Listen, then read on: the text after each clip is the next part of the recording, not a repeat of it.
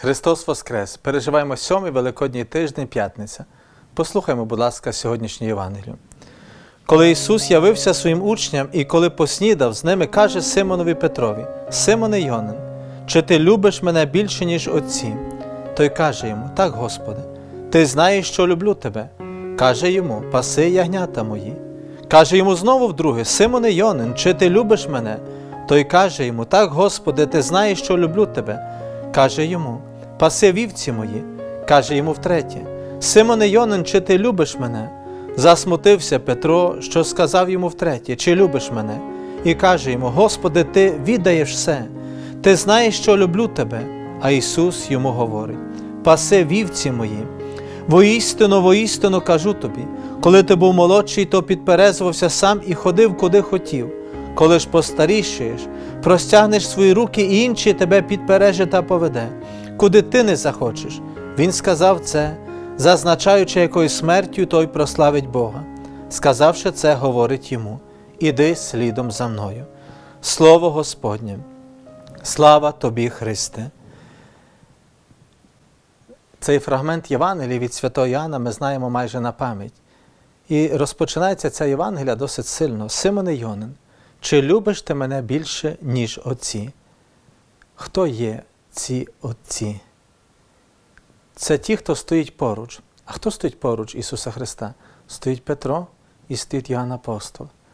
І Ісус Христос запитує, Петре, чи ти мене любиш більше від Йоанна, котрий мене не зрадив, котрий залишився біля мого Христа, коли був вірний до кінця.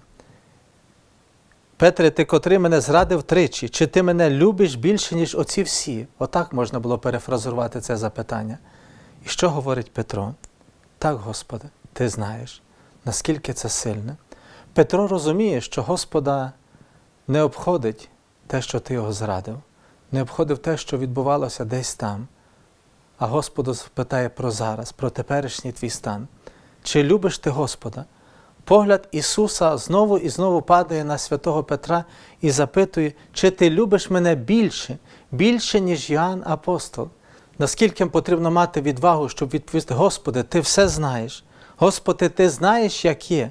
Господи, Ти знаєш, як все було насправді. Ти знаєш, як все трапилося. Я кохаю Тебе, я не перестаю Тебе кохати. І Ісус Христос говорить, паси мої вівці. Сьогоднішня Євангелія запитує в конкретний спосіб, як я себе почуваю в Божих обіймах? Чи тобі комфортно в Божих обіймах, чи тобі зручно? Досить часто є так, що в обіймах іншої людини я почуваю себе зовсім некомфортно, зовсім незручно. Я хочу втекти, я хочу тікати. Навіть здається, хтось інший мене просто обіймає, мені бажає добра, але мені некомфортно. Як я себе почуваю в Божих обіймах? Бога, котрий прагне мого щастя, Бога, котрий прагне мені прощати, Бога, котрий, незважаючи ні на що, Бог, котрий мене шукає.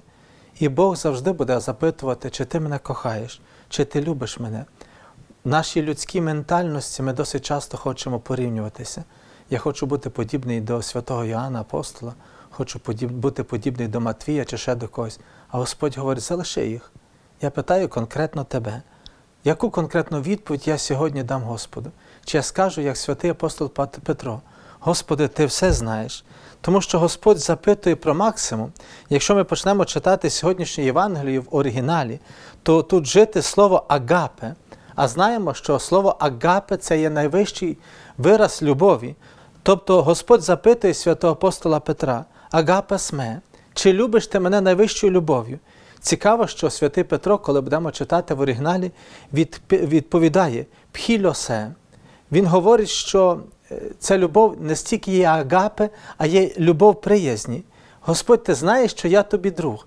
Тобто Ісус Христос питає, чи ти готовий віддати за мене душу, а святий апостол Петро відповідає, Господи, я готовий бути твоїм другом. І в оригіналі, втретє, Ісус Христос запитує Симона Петра, чи ти прагнеш мені добра, чи ти мене любиш? Власне, Божа любов бачить, що святий Петро якраз ще не доростає до цієї агапи, сме. Божа любов входить до цю любов, пхільосе і принижується для того, щоб підняти потім в цій любові святого Петра. Так само в нашому житті Господь постійно входить там, де ми є, входить в наше єство, входить в те середовище, де ми є, можна сказати, забруднюється в це моє життя для того, щоб наново мене підняти. Він мене не засуджує, він мене не критикує, але він говорить, що лише зі мною ти можеш бути щасливий, лише в моїй любові. І Господь прагне входити в мою любов і підносити, і творити через мою любов любов агапасме, любов найкращу і найпрекраснішу. На закінчення прагну прочитати роздуми Святої Терези від дитятка Ісус, коли вона шукала, яким є покликанням в церкві.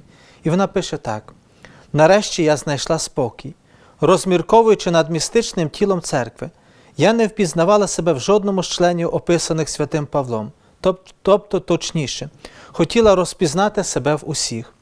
Любов дала мені ключ, до мого покликання. Зрозуміла, що любов містить у собі всі покликання, що любов є усім і обіймає всі часи і усі місця. Одним словом, вона вічна. Тоді з надміру своєї шаленої радості я закричала: О Ісусе, любове моя! Моя, Моє покликання, нарешті я знайшла Його. Моїм покликанням є любов. Так я знайшла місце в церкві. І це місце, о Боже, дав мені ти в серці церкви моєї матері. Я буду любов'ю. Таким чином я буду всім, і так моя мрія здійсниться. Навіщо говорити про шалену радість? Ні, цей вираз неслушний. Це радше тихий, чистий спокій моряка, який дивиться на маяк, що має допровадити його до порту. О світлодайний маяку любові! Я знаю, як дістатись до тебе. Я знайшла таємницю, як привласнити собі твоє полум'я. Коли вона зустріла Бога, могла спокійно сказати: Я не вмираю, я входжу в життя. Дай Бог, щоб ми могли відповісти за святим апостолом Петром: Господи, Ти знаєш все, Ти знаєш все моє життя, Ти знаєш всі мої падіння, всі мої радості, Ти знаєш тим, чим живу я зараз. Я кохаю Тебе, я пробую, я вчусь, я встаю, але в Твоїй любові я зможу.